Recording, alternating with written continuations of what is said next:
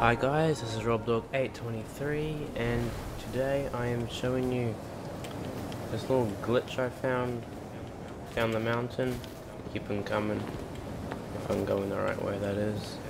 And also wanted to talk about what, see you can come all the way down here and you can find some, this is like the first mission you ever did.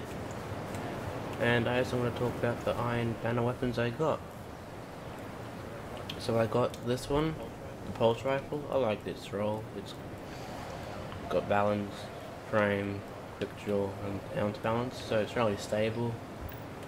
Don't have any gameplay of it at the moment, but yeah. And I also got the shotgun and the machine gun. I haven't tried the machine gun yet, but the shotgun's pretty good. It's got good range and yeah got good range. Haven't tried the machine gun, and I've got most of the Iron Lord bounty um, armor. Hope you enjoyed this video. Sorry that it was a quick one, but you know, I've got schoolwork I have to catch up on and stuff. So yeah, this is Rob Dog signing out. First, let me die.